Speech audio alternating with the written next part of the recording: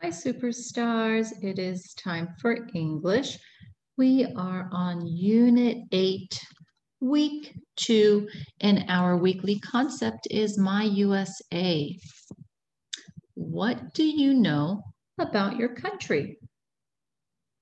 This week, we're going to learn about symbols like our flag that stand for the United States. Let's look at this symbol right here. This is the Statue of Liberty. And the statue is very tall. Is the statue green? Yes, it is. It's very tall and it's green. So can you name two words that describe the Statue of Liberty? Tall and green. That is correct. Let's watch a video. This video is going to talk about what we know about our country.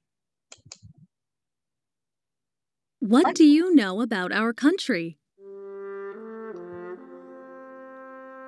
The United States has many important places. This is the Statue of Liberty in New York. It stands for freedom. This is a statue of Dr. Martin Luther King Jr. It is a national memorial in Washington, D.C. Dr. King was a great American. He worked hard to change laws that were not fair to African Americans. His dream was that all people would be treated equally. In California, you can see the Golden Gate Bridge. It is one of the longest bridges in the United States. What places in the United States do you know about? Let's look at some pictures about my USA. USA stands for United States of America. This is a picture of the Liberty Bell, and it's in Philadelphia, Pennsylvania. The bell stands for freedom. It is called the Liberty Bell. This is the Capitol building and it's in the in Washington DC. The members of the United States government meet here. This is called the Capitol building. And this is the American flag. This is a symbol of our country. Americans show the flag to celebrate freedom. Let's go over some vocabulary words that you'll be hearing throughout this unit. The first one is country. Repeat after me, country. The United States of America is the country where we live. You can see all the states. Our next vocabulary word is careful, careful. The teacher was careful when he put staples in the stapler. Careful. To be careful is to pay close attention to what you are doing or saying. Careful.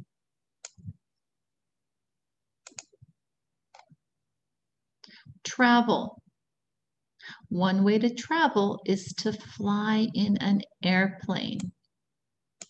Travel. To travel is to move from one place to another. Travel. Purpose. Purpose. The purpose of a pencil box is to hold pencils. The purpose of something is the reason it is made or used. Purpose. Connect. When you connect two things, you put them together. Connect. I can connect pieces of yarn by tying them together. Connect. This. This is a high frequency word. this. I was on this street. This. Let's spell this together. T H I S. This.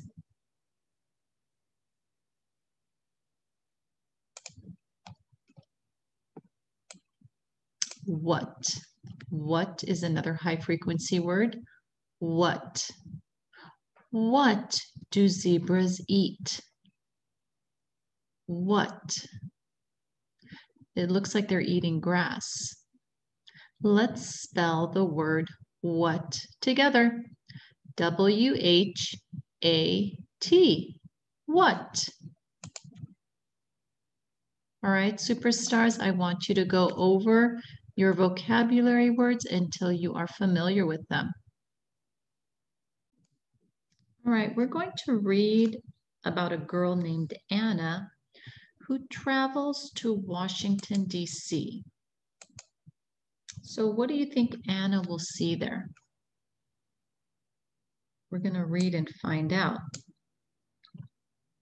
So let's talk about the main topic.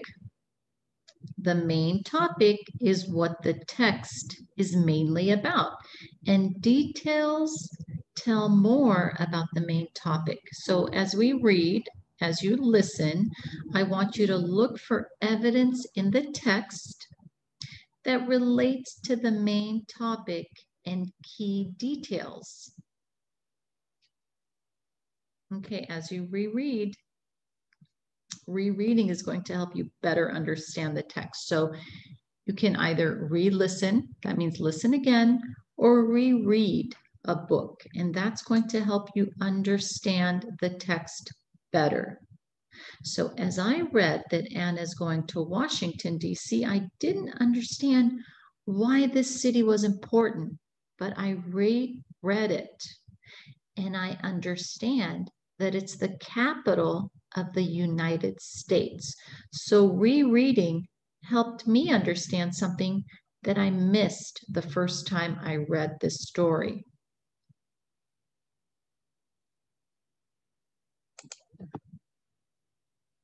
Anna goes to Washington, D.C. All right, we are going to begin. Anna Goes to Washington, D.C. by Renee Colato Lainez. Illustrated by Angela Dominguez. Okay, so remember the author writes the words and the illustrator draws or takes the pictures that's in the story. When Anna goes to Washington, D.C., is an informational text. So it gives information about real places and it often has both text and photographs. We are in Washington, D.C. It is the capital of the United States, said Anna to Mamma and her little sister Sarah. Anna ran and hugged her tia, Luisa, and said, I cannot wait to visit the historic places. So, historic means something important in history. So, she is excited to visit historical places. The next morning, Anna and Sarah were holding a large map. Look, Sarah, we will visit all these places. Map labels Pennsylvania Avenue, the White House, the Ellipse, New York Avenue, the Supreme Court, Constitution Avenue, Pennsylvania Avenue, Lincoln Memorial, 17th Street Northwest, Washington Monument, U.S. Capitol, Library of Congress, Independence Avenue, Dr. Martin Luther King Jr. Memorial. All right, so they were pretty much reading everything that's on the map that they're going to go visit. Tia, Luisa, and Mama waved American flags. They gave flags to Anna and Sarah. Anna opened the front door and said, Ready, set, let's go! I know that the title of the book is Anna Goes to Washington, D.C. I read that the family is in Washington, D.C., and that they are going to visit historical places on the map. I think that Washington, D.C. is going to be the main topic of this text.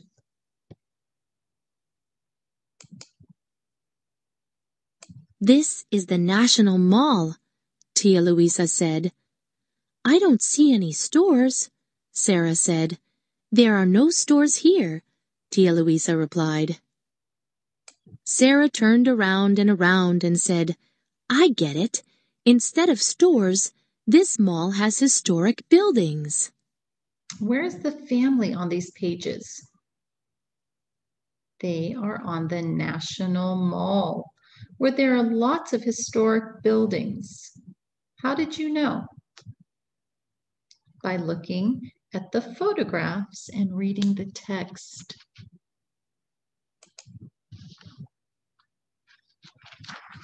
What is this tall building? asked Anna.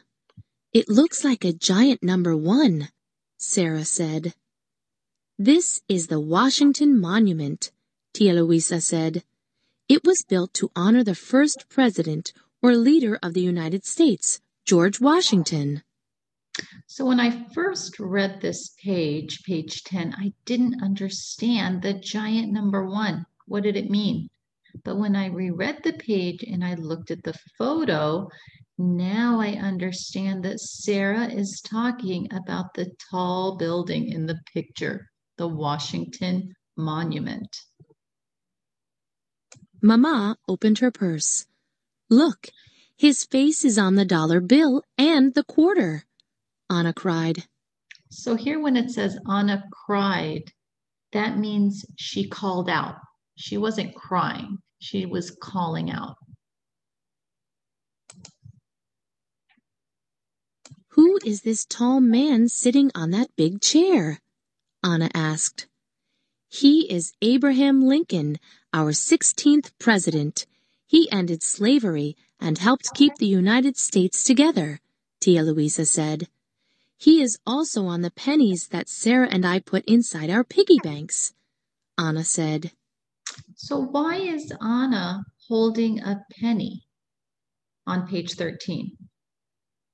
If you're not sure, Listen carefully for the answer as we reread page 13. So let's listen again. Who is this tall man sitting on that big chair? Anna asked. He is Abraham Lincoln, our 16th president. He ended slavery and helped keep the United States together, Tia Luisa said. He is also on the pennies that Sarah and I put inside our piggy banks, Anna said. So Abraham Lincoln's face is on the penny.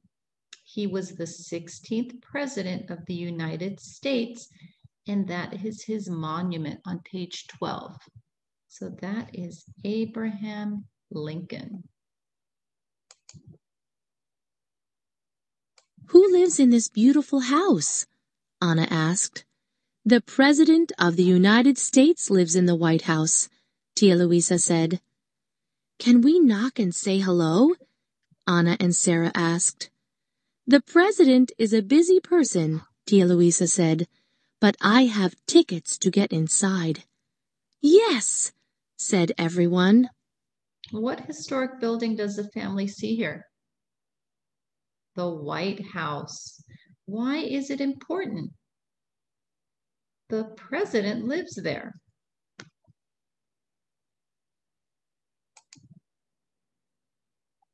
This building is bigger than my whole school, Anna said. It is the Capitol building. They make laws here, Tia Luisa said. Are laws like school rules? Anna asked. Tia Luisa and Mama nodded. We need to follow rules or we will get in trouble, Anna said to Sarah. What details do you learn about Washington, D.C. on these pages? What is this photograph showing? it's showing the Capitol building. It's in Washington, D.C., and this is where laws are made. So that is the Capitol building. Do you remember what a law is? Laws are rules set by the government.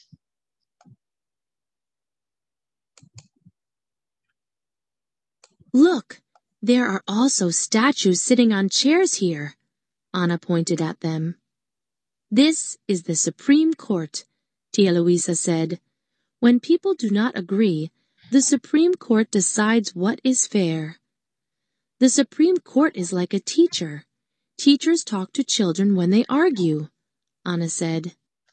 Do you know what fair means? So this is the Supreme Court, and it says when people don't agree, the Supreme Court decides what is fair. Fair means you're not favoring one or another. Fair. So that's the Supreme Court.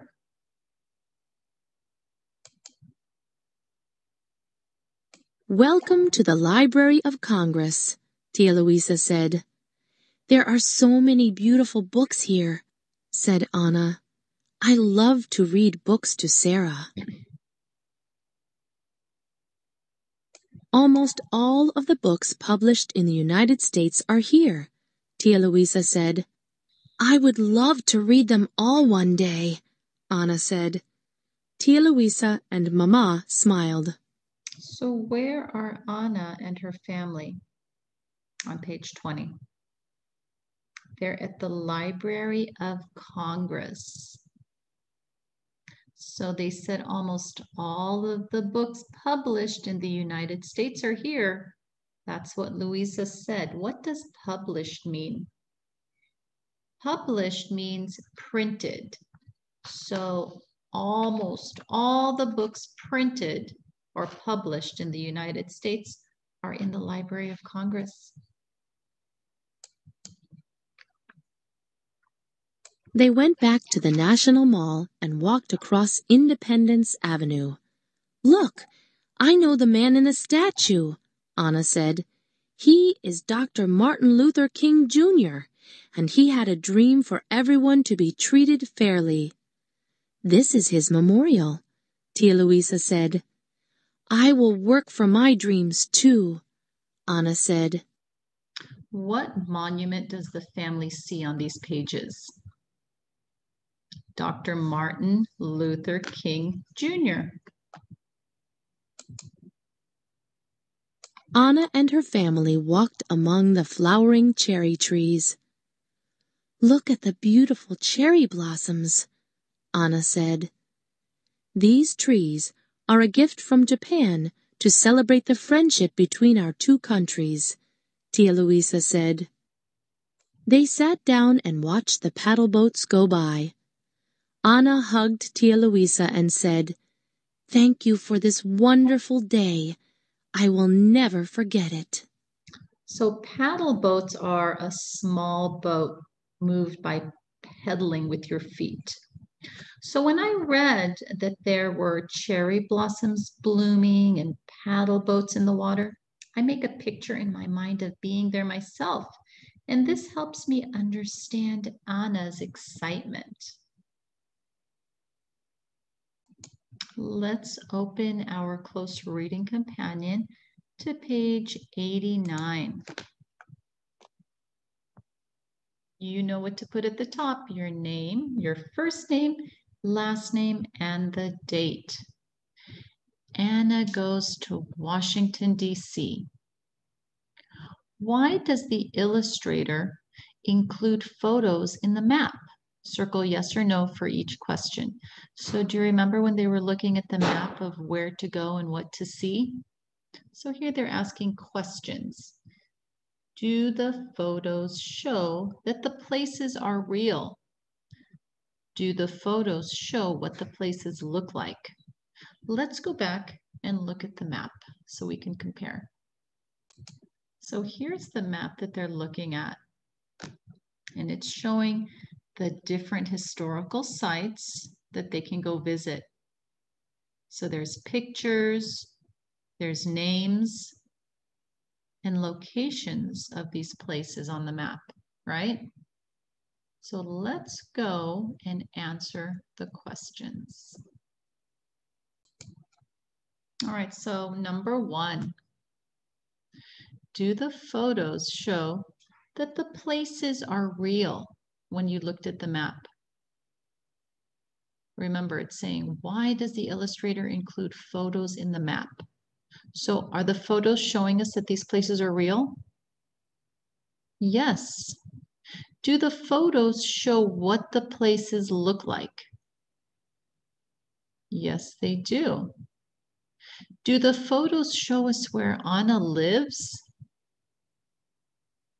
No, it wasn't showing us where she lives. Do the photos on the map show us where Anna is? Did it show us where she was on the map? No. So down here, we're going to complete this sentence. It says, the photos in the map show what? What do the photos in the map show? They show that the places are real, right? And what else did they show us?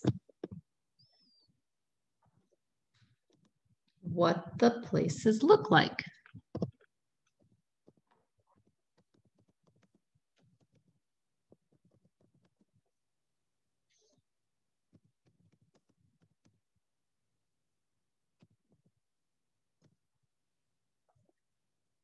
So over here, we can put and also. Oops, and.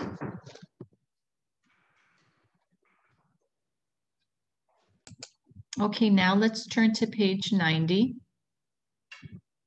All right, let's look at page 90.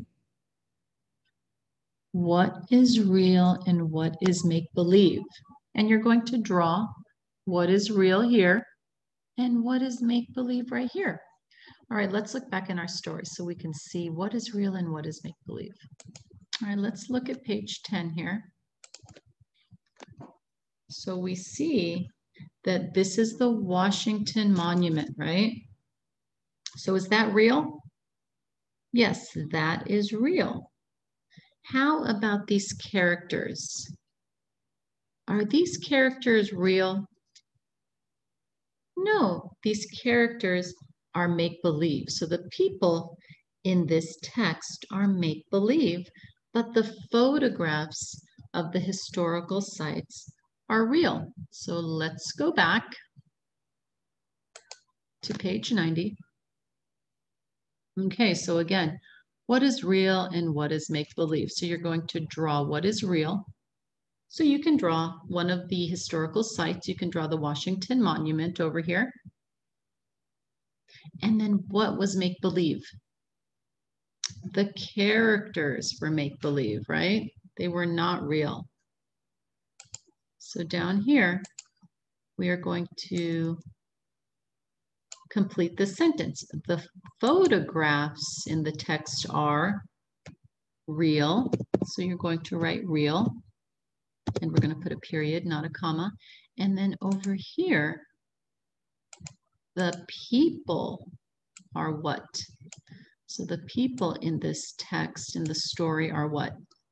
They are make-believe.